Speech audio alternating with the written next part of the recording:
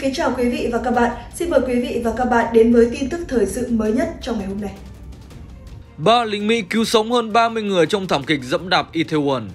Hãng thông tấn Yonhap dẫn lời một trong số các nạn nhân sống sót sau thảm kịch ở Itaewon là cư dân ở Jeonju, miền Trung Hàn Quốc cho biết anh tin ba người hùng nước ngoài là các binh sĩ Mỹ đang đồn trú tại trại Kasei ở đồng Ducheon, cách thủ đô Seoul khoảng 50 km về phía bắc. Nam thanh niên ngoài 20 tuổi nói trên trước đó kể với truyền thông địa phương rằng anh được kéo ra khỏi đám đông hỗn loạn trong một con hẻm hẹp và dốc ở Itaewon tối 29 tháng 10, ngay trước khi bị ngất xỉu. Anh tin ba người hùng Mỹ là Jamie Taylor, 40 tuổi, Jamo Agosta, 34 tuổi và Dan Bethard, 32 tuổi, sau khi biết tin muộn về cuộc phỏng vấn của họ với hãng thông tấn Pháp hôm 30 tháng 10.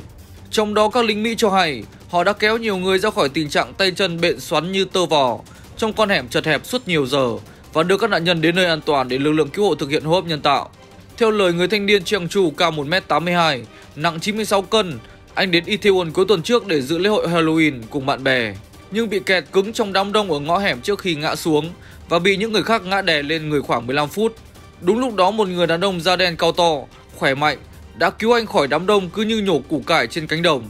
Bối cảnh trong thảm kịch Itaewon và các nỗ lực cứu nạn nhân mà ba người lính Mỹ tiết lộ trong cuộc phỏng vấn hoàn toàn giống với những gì tôi đã trải qua, nhân chứng nói. Anh bày tỏ bản thân thực sự muốn gặp những lính Mỹ nói trên để nói lời cảm ơn họ, đồng thời lưu ý các nỗ lực cứu nạn của họ đã giúp giảm con số thương vong.